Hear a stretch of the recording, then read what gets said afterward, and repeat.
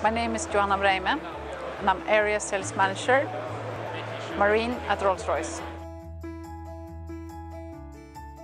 The B3345 V version is an extension of the inline engine program.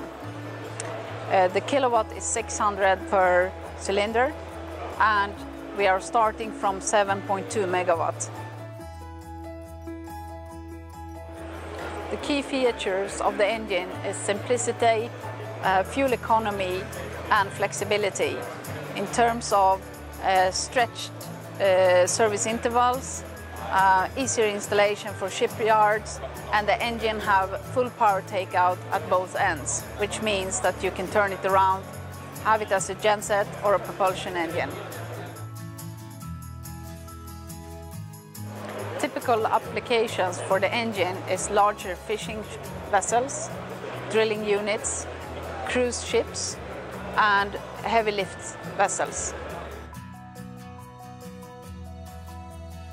The engine can be expected uh, beginning of 2018 since it's already in production.